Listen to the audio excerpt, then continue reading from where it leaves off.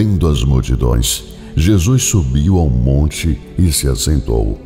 Seus discípulos aproximaram-se dele e ele começou a ensiná-los, dizendo: Como ser feliz. Bem-aventurados os pobres em espírito, pois deles é o reino dos céus. Bem-aventurados os que choram, pois serão consolados. Bem-aventurados os humildes, pois eles receberão a terra por herança. Bem-aventurados os que têm fome e sede de justiça, pois serão satisfeitos. Bem-aventurados os misericordiosos, pois obterão misericórdia. Bem-aventurados os puros de coração, pois verão a Deus. Bem-aventurados os pacificadores, pois serão chamados filhos de Deus. Bem-aventurados os perseguidos por causa da justiça, pois deles é o reino dos céus. Bem-aventurados serão vocês quando, por minha causa, os insultarem, os perseguirem e levantarem todo tipo de calúnia contra vocês. Alegrem-se e regozijem-se, porque grande é sua recompensa nos céus, pois da mesma forma perseguiram os profetas que viveram antes de vocês.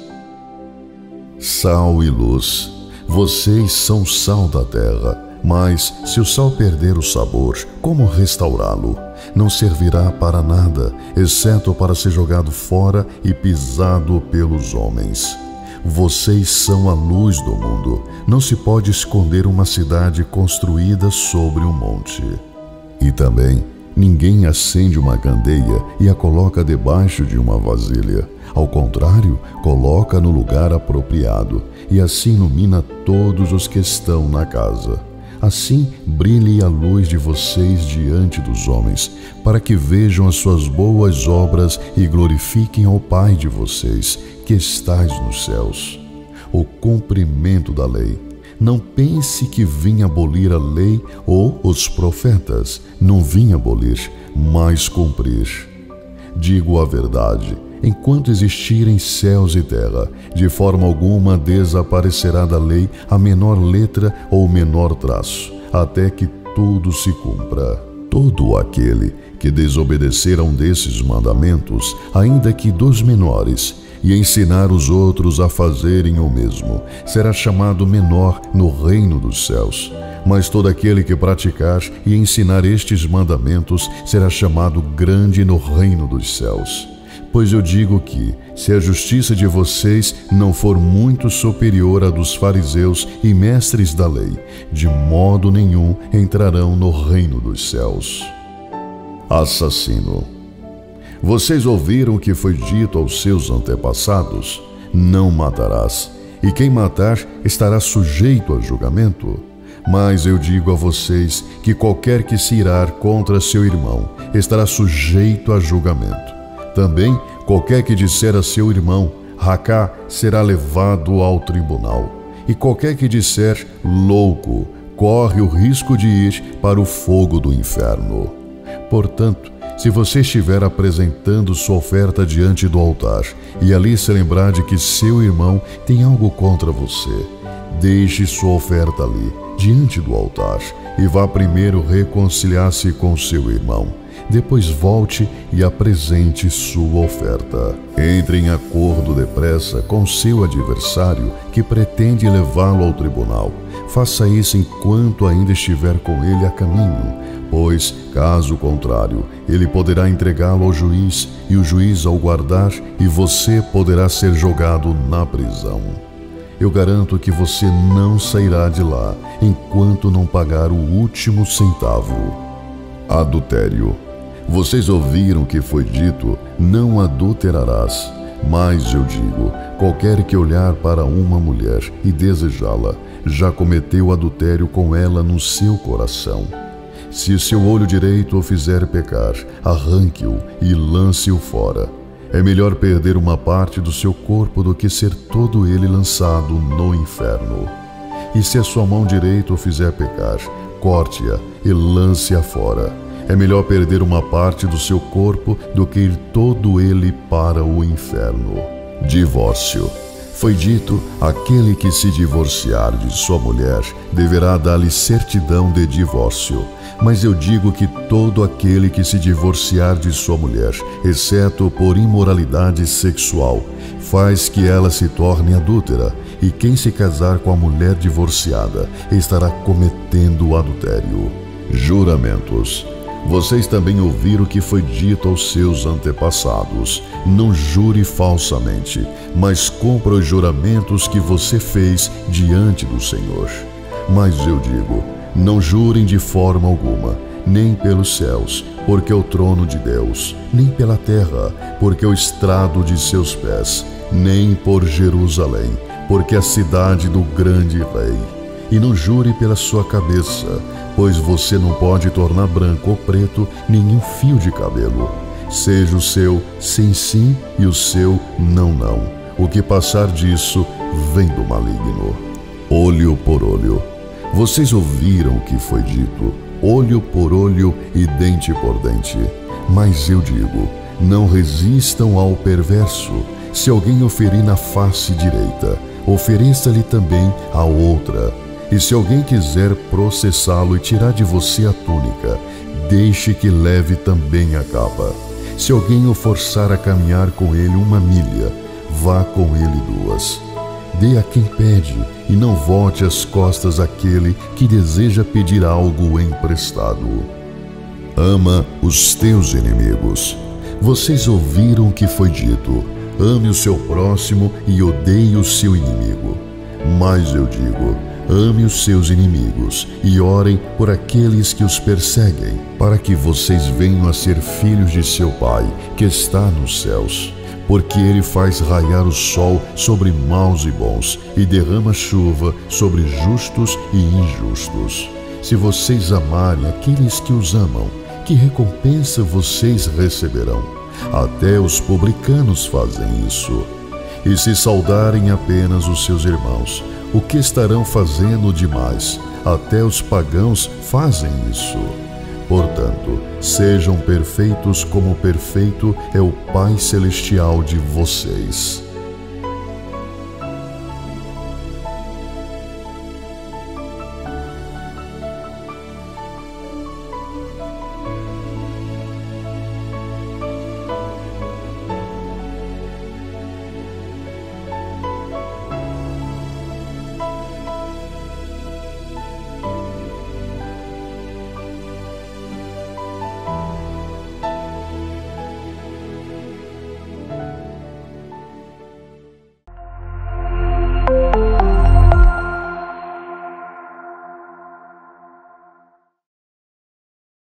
Ainda que demore, ele fará justiça. Não explore os pobres por serem pobres, nem oprima os necessitados no tribunal, pois o Senhor será o advogado deles e despojará da vida os que os despojarem.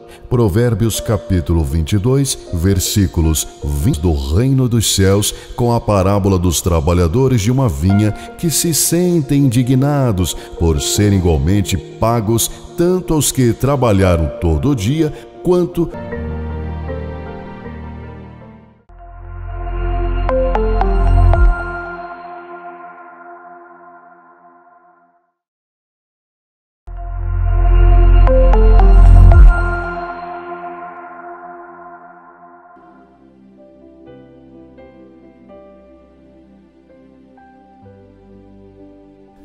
João capítulo 6 Jesus alimenta os cinco mil homens.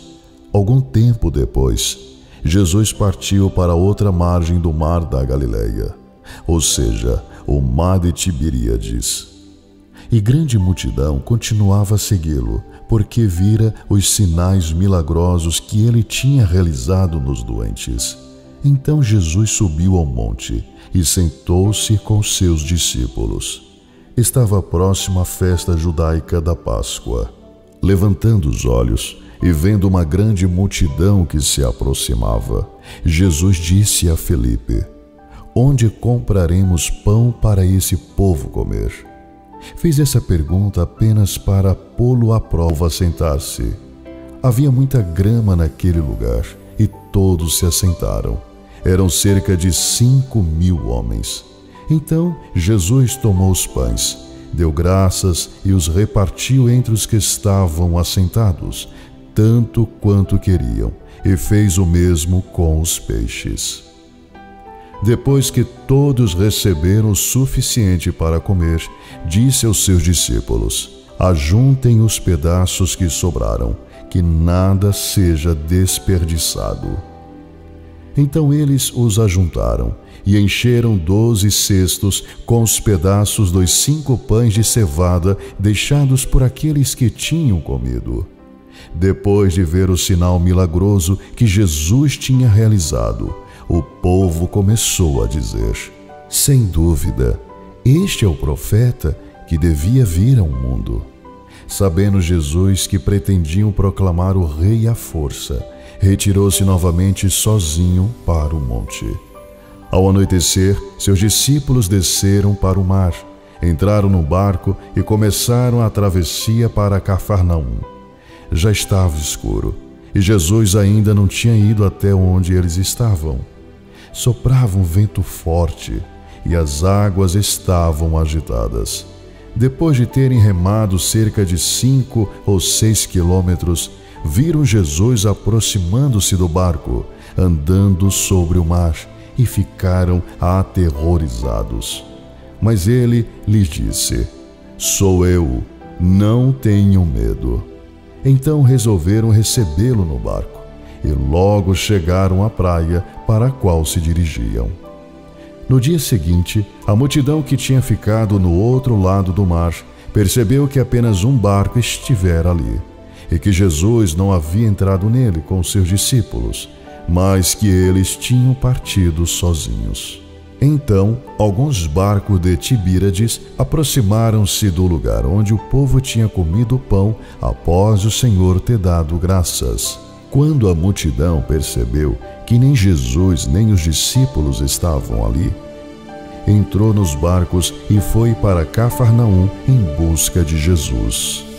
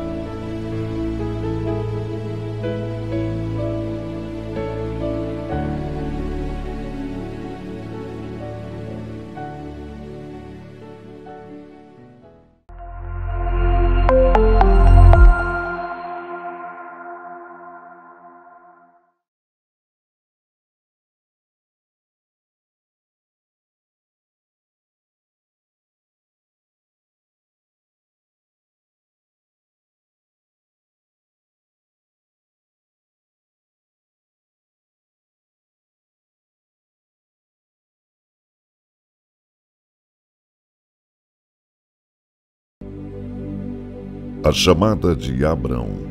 Então o Senhor disse a Abrão: Saia da tua terra, do meio dos seus parentes e da casa de seu pai, e vá para a terra que eu lhe mostrarei. Farei de você um grande povo, e o abençoarei. Tornarei famoso o seu nome, e você será uma benção.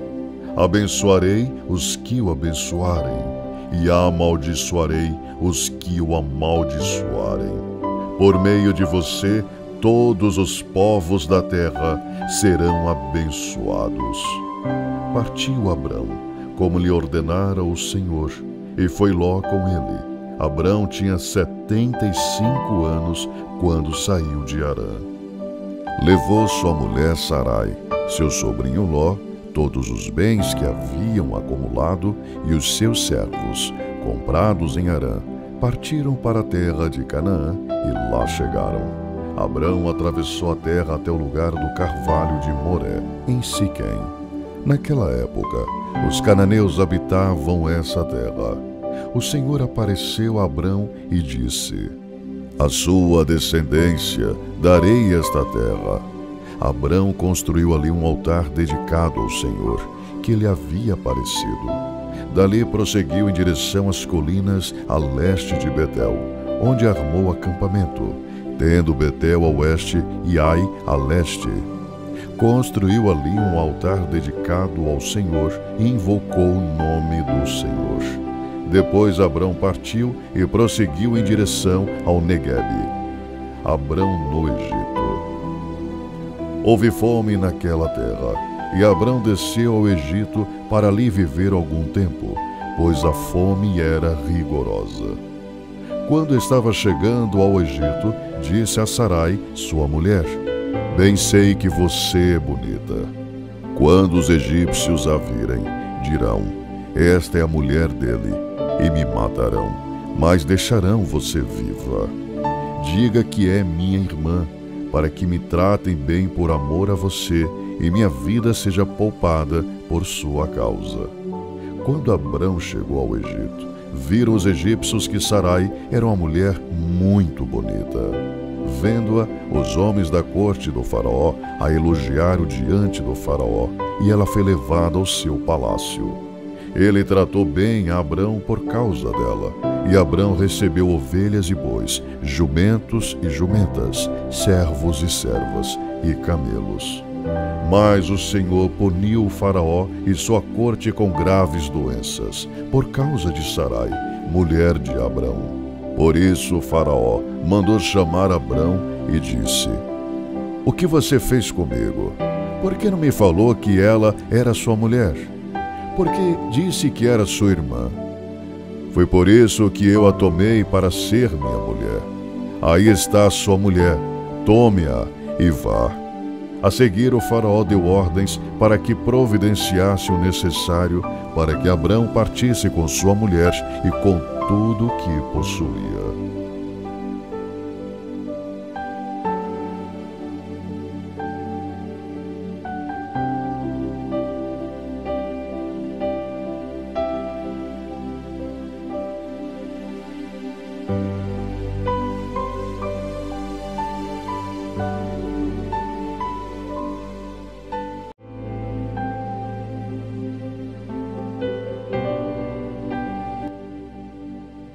Senhor, tu me sondas e me conheces.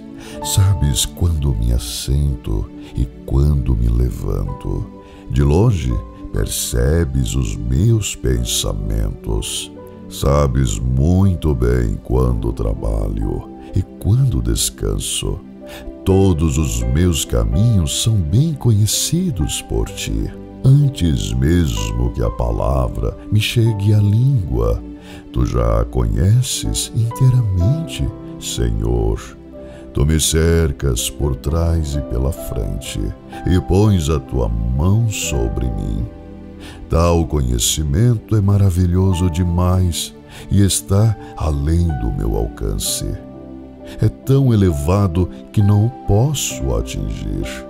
Para onde poderei eu escapar do teu espírito? Para onde poderia fugir da tua presença? Se eu subir aos céus, lá estás. Se eu fizer a minha cama na sepultura, também lá estás. Se eu subir com as asas da alvorada e morar na extremidade do mar, mesmo ali, a tua mão direita me guiará e me susterá mesmo que eu diga que as trevas me encobrirão e que a luz se tornará noite ao meu redor, verei que nem as trevas são escuras para ti. A noite brilhará como o dia, pois para ti as trevas são luz. Tu criaste o íntimo do meu ser, me teceste no ventre de minha mãe. Eu te louvo porque me fizeste de modo especial e admirável. Tuas obras são maravilhosas. Digo isso com convicção. Meus ossos não estavam escondidos de ti quando em secreto fui formado e entretecido como nas profundezas da terra. Os teus olhos viram meu embrião Todos os dias determinados para mim foram escritos no teu livro antes de qualquer deles existir. Como são preciosos para mim os teus pensamentos, ó Deus!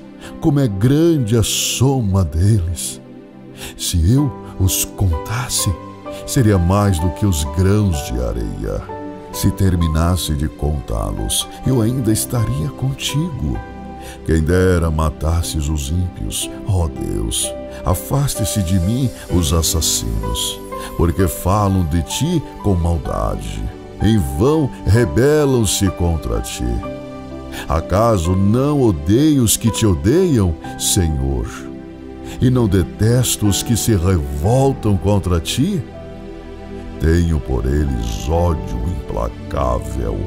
Considero-os inimigos meus. Sonda-me, ó Deus, e conhece o meu coração. Prova-me e conhece as minhas inquietações. Vê se em minha conduta algo te ofende e dirige-me pelo caminho eterno.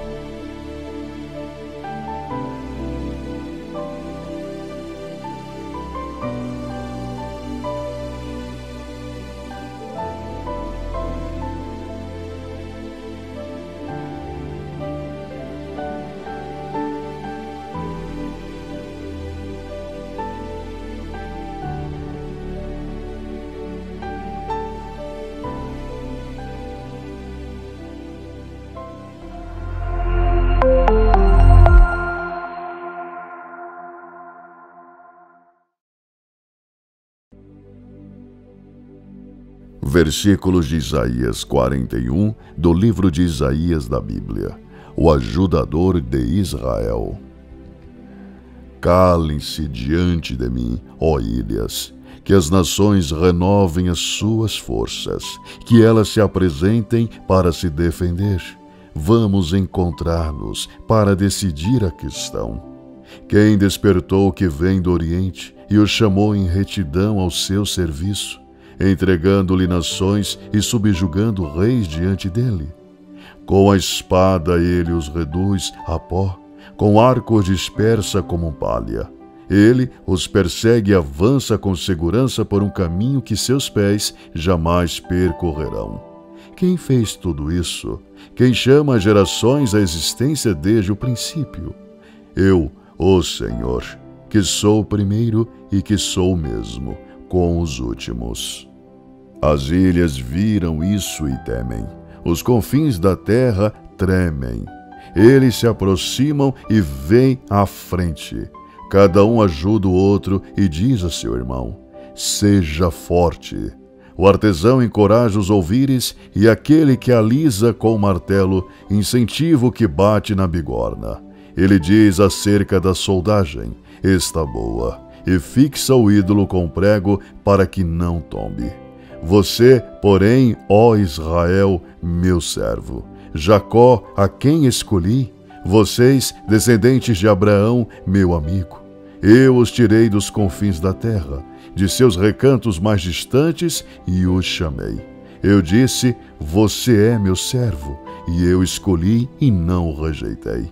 Por isso, não tema, pois estou com você.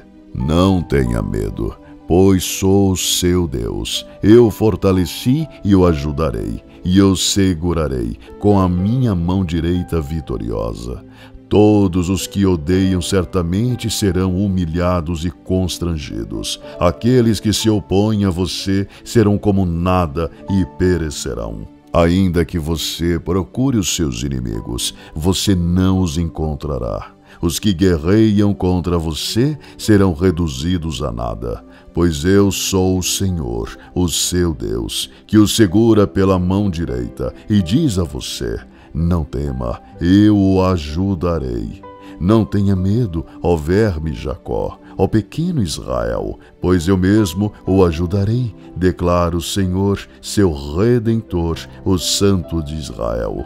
Veja, eu tornarei um debulhador novo e cortante com muitos dentes. Você debulhará os montes e os esmagará, e reduzirá as colinas a palha. Você irá peneirá-los, o vento os levará, e uma ventania os espalhará. mas você se regozijará no Senhor e no Santo de Israel se gloriará. O pobre e o necessitado buscam água e não a encontram. Suas línguas estão ressequidas de sede, mas eu, o Senhor, lhes responderei. Eu, o Deus de Israel, não os abandonarei. Abrirei rios nas colinas estéreis e fontes nos vales. Transformarei o deserto no lago e o chão ressequido em mananciais. Porei no deserto o cedro, a acácia, a murta e a oliveira. Colocarei juntos no ermo o cipreste, o abeto e o pinheiro. E todos vejam e saibam que a mão do Senhor fez isso, que o Santo de Israel o criou exponham a sua causa, diz o Senhor. Apresentem as suas provas, diz o rei de Jacó. Tragam seus ídolos para nos dizerem o que vai acontecer. Que eles nos contem como eram as coisas anteriores, para que as consideremos e saibamos o seu resultado final ou que nos declarem as coisas vindouras, revelem-nos o futuro para que saibamos que eles são deuses. Faça alguma coisa boa ou má para que nos rendamos cheios de temor. Mas vejam só, eles não são nada e as suas obras são totalmente nulas. Detestável é aquele que os escolhe. Despertei um homem, e do norte ele vem Desde o nascente proclamará o meu nome. Pisa em governantes como em argamassa, como o oleiro amassa o barro. Quem falou disso desde o princípio para que o soubéssemos, ou antecipadamente para que pudéssemos dizer: ele estava certo? Ninguém o revelou, ninguém o fez ouvir, ninguém ouviu palavra alguma de vocês. Desde o princípio eu disse a Sião: Veja estas coisas acontecendo. A Jerusalém eu darei um mensageiro de boas novas. Olho e não há ninguém entre eles, nenhum conselheiro que dê resposta quando pergunto. Veja, são todos falsos, seus feitos são nulos, suas imagens fundidas não passam de um sopro, de uma nulidade.